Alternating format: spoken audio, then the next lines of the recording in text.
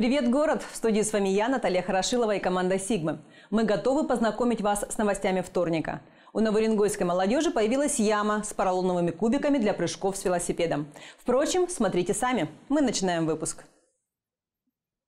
На Ямале впервые начали проводить диспансеризацию круглосуточно. Подробнее в новостях короткой строкой. В Янао впервые начали проводить диспансеризацию круглосуточно. Новшество запустили пока в Тарко-Салинской районной больнице. С января пуровчане могут пройти профосмотр в любое комфортное для себя время. Сделали это для удобства работающего населения. Быть в чем-то первопроходцами медикам из Тарко-Сали впервой. Отметим, в 2021 году именно в этой больнице впервые в округе начали проводить круглосуточную вакцинацию.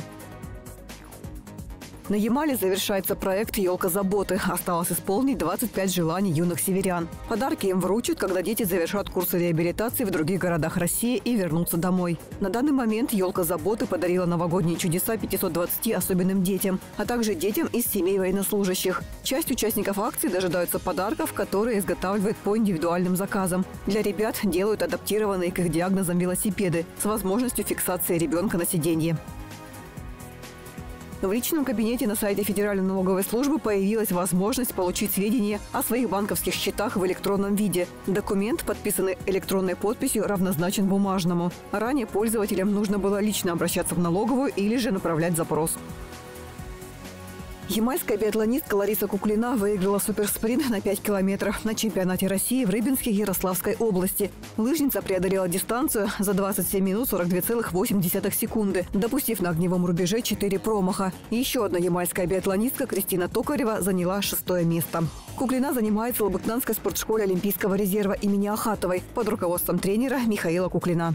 Больше 6 тысяч кубов снега вывезли дорожники со дворов улиц Нового Уренгоя за сутки – в самосвалах это 305 штук.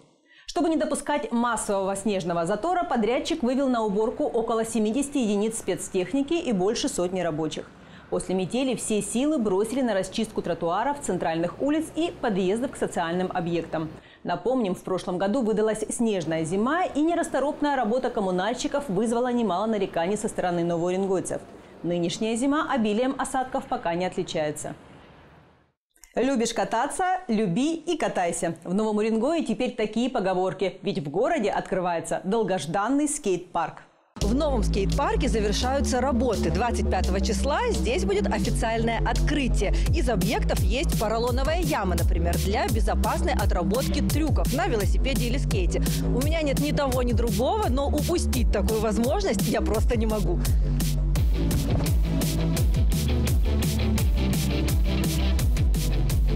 Помимо ямы здесь есть большая разгонка, funbox, плаза, quarter, grindbox ы. Для тех, кто катается на велосипедах, скейтах и самокатах, все это не просто непонятные слова. Для несведущих объясняем. Это специальные конструкции для катания. Оборудовать скейт-парк приехали специалисты из Екатеринбурга. Мы, получается, в Екатеринбурге это все сделали секторами, а сюда привезли, как конструктор собрали. Парк разделен на две зоны. Это стрит-зона для уличного катания, но кто катается, им для тренировок это самое то и зона для тренировок уже на фанбоксах Air называется, Air зона. Помимо статичных элементов на площадке есть мобильные конструкции. Скаты можно заменять ступеньками, устанавливать различные перила. И даже поролоновая яма может превращаться с помощью специальных настилов в сцену, например, для брейкданса. Качество исполнения всех работ контролирует администрация и прямые пользователи этой локации. Ну, несколько элементов еще осталось собрать. Вот. Ну и сами же ребята есть те, кто члены сборной России, тренируются, и поэтому они сами же проверяют все элементы. Площадь поверхности достаточно большая, и важно все проверить, чтобы перед тем, как и работы будут приняты и оплачены, и перед тем, как, собственно говоря, начинать катать здесь полноценно уже ребятам, чтобы все было отлично. В целом, площадке есть пару вопросов, но уже хотя бы хоть что-то, и это радует. Скейтеры очень ждут, потому что нам после снега кататься. Некоторые вопросы, конечно, еще будут прорабатываться. Все можно двигать, выбирать как раз-таки. И мы попросили заранее подготовить нам парочку разных высотой граней, там парочку, допустим, вместо склона, допустим, будут ступеньки, через которые мы будем прыгать. Опять же, и, и всем это будет подходить. Напомню, что новоуренгойские скейтеры несколько лет мечтали о крытой площадке. Ямальская погода не позволяет тренироваться на улице. Для этого у ребят фактически оставалось только короткое северное лето. Эту проблему озвучили Дмитрию Артюхову, когда он посещал газовую столицу во время ежегодного честного маршрута. И вот спустя пять месяцев у скейтеров, а также BMXеров и самокатчиков появилась новая теплая локация. Впрочем, это отличный подарок для всей городской молодежи. Юлия Димитрадзе, Евгений Шевченко, телерадиокомпания «Сигма» для НУР-24. В полиции Нового Уренгоя подвели итоги работы за 2022 год, а также обсудили планы и задачи на предстоящий 2023. Наша съемочная группа присутствовала на этом заседании. За прошлый год в ОМВД поступило около 24 тысяч обращений. Показатель практически равен прошлогоднему. Зарегистрировано более 1400 преступлений, почти 40% из них тяжкие и особо тяжкие. Уровень преступности в 2022 году в расчете на 100 тысяч населения снизился на 4,1% и составил на 1209 преступлений против 1261 в 2021 году. В целом деятельность отдела МВД России по городу Уренгую оценивается в соответствии с ведомственной статистической оценкой удовлетворительной. Среди 13 территориальных органов МВД России по автономному округу занимает третье место. В 2022 году мы закончили год на шестом. Раскрываемость преступлений улучшилась на 10%, а вот количество правонарушений, связанных с наркотиками, выросло на 75%. Основную массу составляют имущественные преступления. Это 41% или 600 деяний. Связанные с незаконным оборотом наркотических средств 19,4% или 278 деяний. Преступления против личности 11%, 158 преступлений.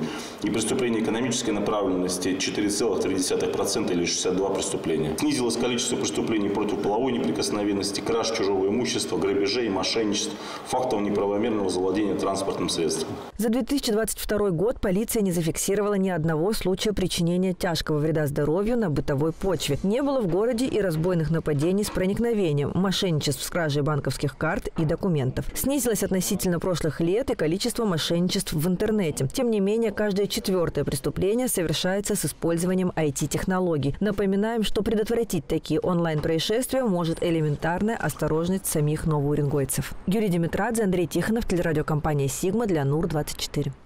Сейчас короткий перерыв на рекламу. Мы скоро продолжим.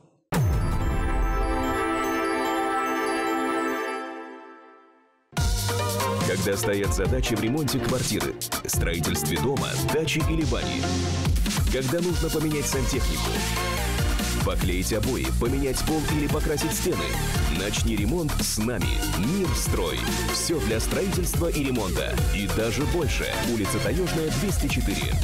Меховая фабрика Ангелина Сэм в Новом Уренгое. Скидки до 70%. Действует рассрочка до трех лет. Только до 22 января в ТРЦ «Солнечный». Третий этаж.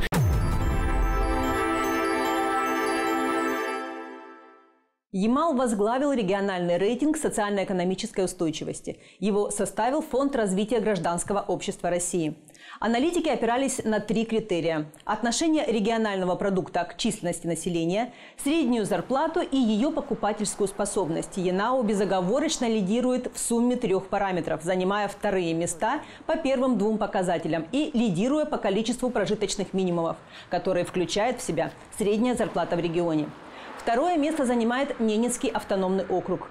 Тройку замыкает Чукотка. Платят здесь больше, но из-за цен купить на эти деньги население может меньше. Замыкает пятерку Москва. На последней строчке топ-10 Санкт-Петербург. Посильная помощь от каждого. Новоренгойские мастерицы освоили азы кройки и шитья, чтобы поддержать мобилизованных ямальцев. Познакомилась с девушками Вера Потлова. Воодушевившись примером мастериц из Белгорода, которые шьют одежду для участников специальной военной операции, в Новом Уренгое рукодельницы создали мастерскую добра. Началось все с покупки двух рулонов ткани за собственные деньги и пошива снудов. Сейчас группа в Телеграм «Шьем и вяжем для наших бойцов» включает почти четыре сотни человек. Большая часть волонтеров трудится на дому, а готовые изделия приносят в мастерскую, помещение для которой предоставила администрация города. И огромную благодарность хотелось бы выразить а, главе нашего города Андрею Валерьевичу и депутату законодательного собрания Ямало-Ненецкого автономного округа Арно Олегу Борисовичу за безвозмездно предоставленное помещение. Откликнулись сразу, и буквально после написания письма, наверное, через неделю мы уже заезжали в свою новую мастерскую. Мастерицы шьют и вяжут простые, но такие нужные вещи. На сегодня мы активно шьем это снуды. А, ну, такая, казалось бы, простая вещь, но использовать ее можно в разных восьми вариациях. Разработала девушка из Энгельса, город Энгельс. Я воспользовалась ее выкройкой. Ну, последнее наше, то, что мы сейчас запустили, это вот такие вот толстовки. А, они тоже из флиса на молнии.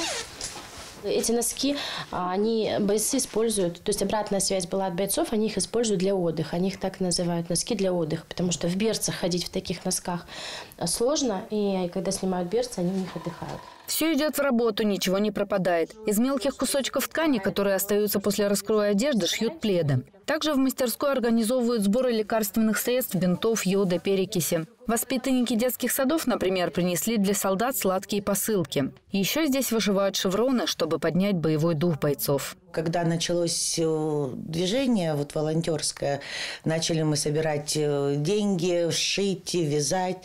Я, конечно же, была активным участником этого. Мне по зову сердца хотелось помочь нашим защитникам. Ограничений по срокам и объему пошива никто не ставит. Помощь каждый оказывает посильную. Это же помощь от чистого сердца, и она не должна быть в ущерб себе ни в коем случае. Поэтому и понятно, что есть семьи, дети. Шьем по мере возможности. Недавно собирали батальон «Барс», и нужно было собрать как можно больше. Я написала в группу, у кого сколько готово. Ну, кто-то, допустим, взял 10 толстовок пошить, а на, на сегодня у него только 3. Вот 3 принесли. То есть работаем не в ущерб себе и семье, и помогаем столько, сколько можем. В мастерской будут рады помощникам. Работа найдется всем. Не умеете шить, вязать, можно кроить или упаковывать изделия. Связаться с организатором можно в телеграм-канале «Шьем и вяжем» для наших бойцов. Вера Потлова, Евгений Шевченко, телерадиокомпания «Сигма» для НУР-24. 2023 объявлен в России годом педагога и наставника, а на Ямале – годом знаний. Газовая столица ежегодно показывает высокие результаты в развитии образовательной системы, а также образовательной инфраструктуры. Именно в Новом Уренгое в 2023 году должна появиться самая большая на Ямале школа – Арктический лицей в микрорайоне Славянский. Высокий уровень демонстрируют и новоренгойские педагоги, а также их ученики. В год знаний газовая столица врывается с большими планами и проектами. Новоренгойская система образования очень подготовилась основательно а, к старту а, в этом году. И мы мощно а, начинаем этот год. В течение ближайших 10 дней будет больше 20 мероприятий и событий. В планах на этот год интеллектуальные игры, профессиональные командные соревнования, открытие новых пространств. Мероприятия охватят всех юных уренгойцев, начиная от дошкольников и заканчивая молодежью. Год знаний, а, который объявлен губернатором автономного округа, он стартует уже сегодня. И а, мы подготовили достаточно интересную и а, насыщенную программу для того, чтобы состоялось интеллектуальное погружение детворы.